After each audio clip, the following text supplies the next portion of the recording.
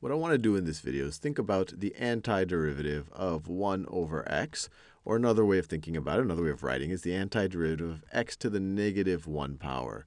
And we already know if we somehow tried to apply that anti-power rule, that inverse power rule over here, we would get something that's not defined. We would get x to the 0 over 0. Doesn't make any sense.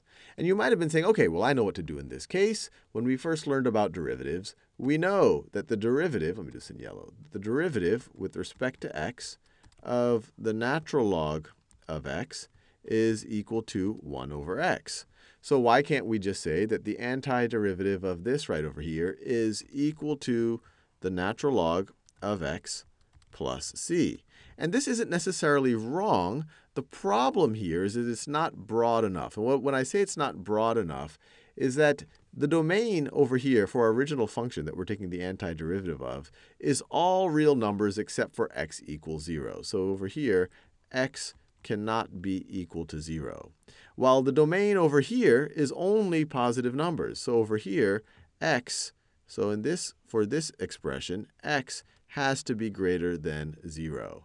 So it would be nice if we could come up with an antiderivative that has the same domain as the function that we're taking the antiderivative of. So it would be nice if we could find an antiderivative that is defined everywhere that our original function is. So pretty much everywhere except for x equaling 0.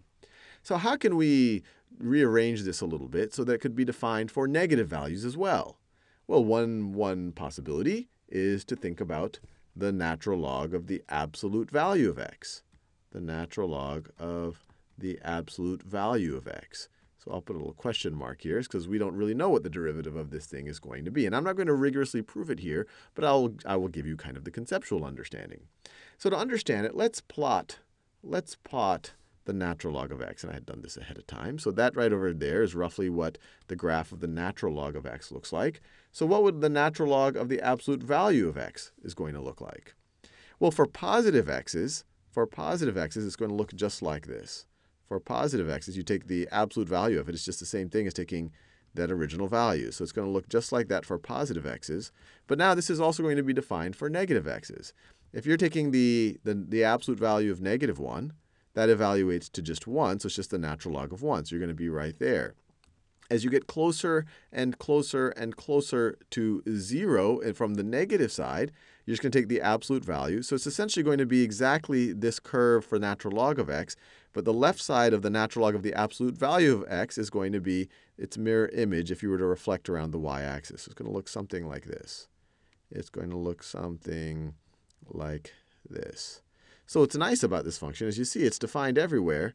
It's defined everywhere except for, except for, I'm trying to draw it as symmetrically as possible, it's defined everywhere except for x equals 0. So if you combine this pink part and, and this part on the right, if you combine both of these, you combine both of these, you get, you get y is equal to the natural log of the absolute value of x. Now let's think about its derivative. Well, we already know what the derivative of the natural log of x is, and for positive values of x, so let me write this down. For x is greater than 0, we get the natural log of the absolute value of x is equal to the natural log of x.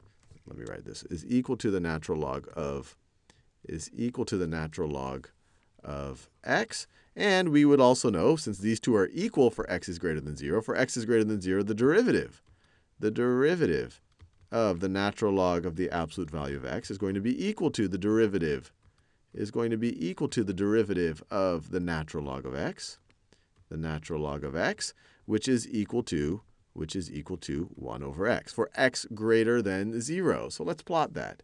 Let's plot that. I'll do that in green. It's equal to 1 over x. So 1 over x, we've seen it before. It looks something like it looks something like this. So let me my best attempt to draw it. It has both vertical and horizontal asymptotes.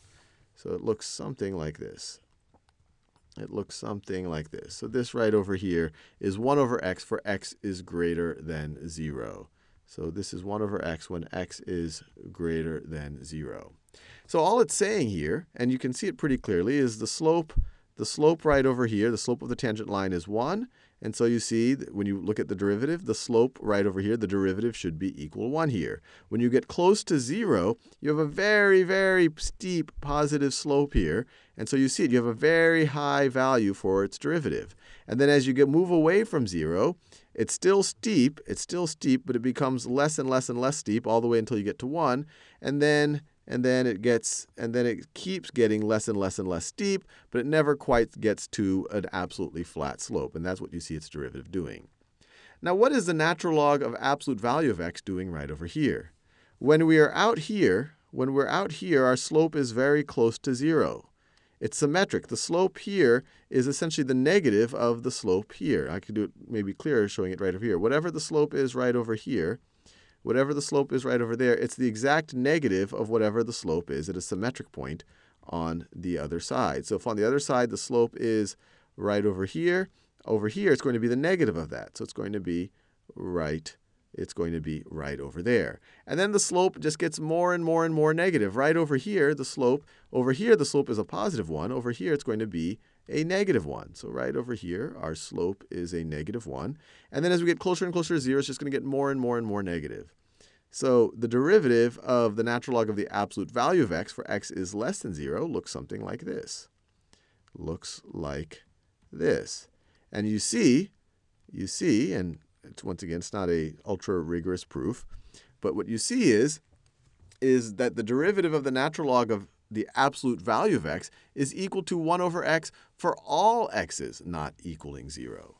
So what you're seeing, and or hopefully you get the, the you, you can visualize that the derivative, let me write it this way, the derivative, the derivative of the natural log of the absolute value of x is indeed equal to 1 over x for, for all, for all x does not equal 0.